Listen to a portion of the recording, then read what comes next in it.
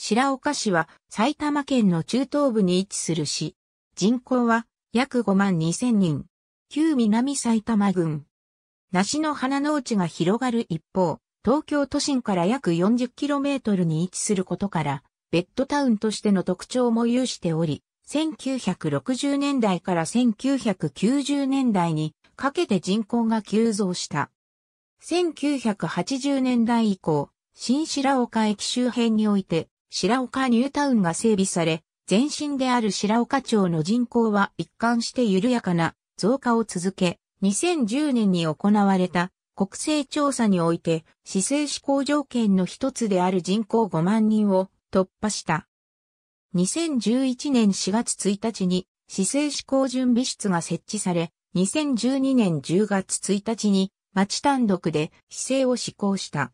市内には田畑や果樹園、森林など多くの緑が残されている。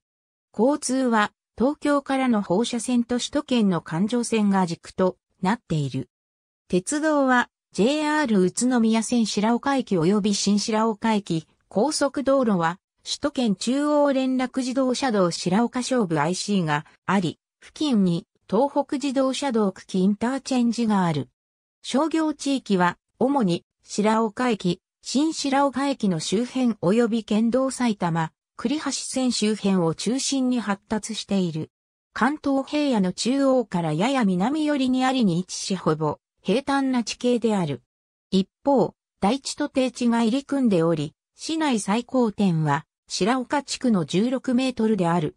蓮田市との市境を元荒川が流れており、市川水系の消火線が複数縦断する。東部には大宮台地の次第である白岡台地、ジオン寺台地が存在する。1954年に三村が合併した際、白岡駅にちなんで白岡町と名付けられ、2012年の市政以降の際にもそのまま白岡の名前が引き継がれた。白岡という地名自体の由来には諸説ある。制服院貝塚の貝殻が元荒川方向から見ると太陽の光で光り輝いて見える丘という説。平安時代の歌唱2年に自覚大師が白岡八幡宮を訪れた際、大師の前に三羽の白い鳩が舞い遊んだ。その様子を見た大師が白鳩の住める白い丘により白岡と命名した説。蓮田市貝塚からほど近い場所に位置する白岡。古代、この場所が海岸だったため、打ち寄せる波しぶきと泡がこの辺りを覆っていた。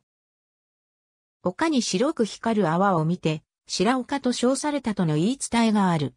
最新の国勢調査確定値は、2010年調査比プラス2.51%となり、一貫して緩やかな増加が続いている。2017年2月10日、千葉県君津市と友好親善都市協定を締結。平成30年度予算議長と副議長定数18、会派の構成354万1164円。埼玉県63市町村中、埼玉市、和光市、戸田市、朝霞市、四季市に次ぎ、第6位である。医療機関二次医療圏としては、埼玉県利根医療圏に属する。医療機関としては、白岡市、病院、医院、診療所一覧を参照。市外局番は、市内全域が0480。同一市外局番の地域との通話は、市内通話料金で利用可能。収容局は、白岡局、白岡大選局。郵便番号は、市内全域が349から02、XX である。白岡市から乗車できるバスは上記1系統のみである。